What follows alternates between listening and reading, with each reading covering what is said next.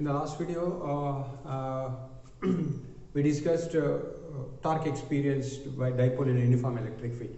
Suppose if uh, dipole is not placed in a um, if dipole is placed in non-uniform electric field, what happens? If dipole placed in non-uniform electric fields, it experiences torque as well as translatory motion. It moves and it rotates. But in uniform uniform electric field, it experiences only torque. Non-uniform electric field, it has torque as well as translatory motion. And now another important discussion is Gauss law. Now see what is this Gauss law? Now take a sphere at the center. If you place a point charge q, the radius of this sphere consider r. Then what happens? Electric field lines act radially outwards. Clear? Now flux through this surface I would like to find. Clear? Now first construct a small surface here. This small surface on the sphere take it as delta S. Through this surface electric field lines act like this.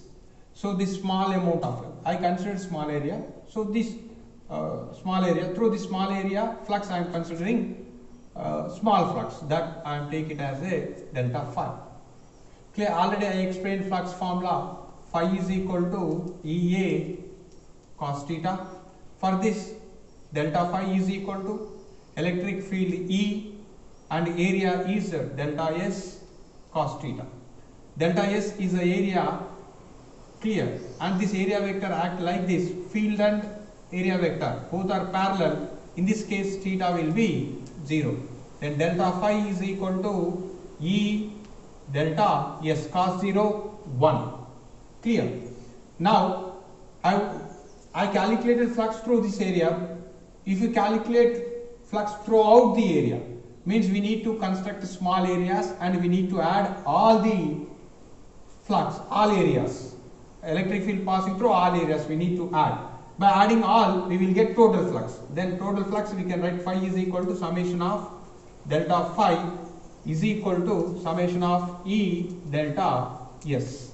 And this phi is equal to e is same summation of delta s. Phi is equal to q is what? Electric field formula 1 by 4 pi epsilon naught q by r square and summation of all small areas it gives the surface area of the sphere. Now surface area of the sphere is 4 pi r square. Summation of delta s is 4 pi r square. Clear? Now 4 pi 4 pi r square r square cancel. Phi is equal to q by epsilon naught. This is is the Gauss expression. Then how do we define Gauss law? Gauss law is flux through any closed surface is equal to flux through any closed surface is equal to 1 by epsilon naught times of total charge enclosed by this surface. Clear? Gauss law we states that or Gauss Gauss states that flux through any closed surface is equal to 1 by epsilon naught times of total charge enclosed by the surface phi is equal to 1 by epsilon naught times of total charge enclosed by the surface. This total surface encloses the charge q.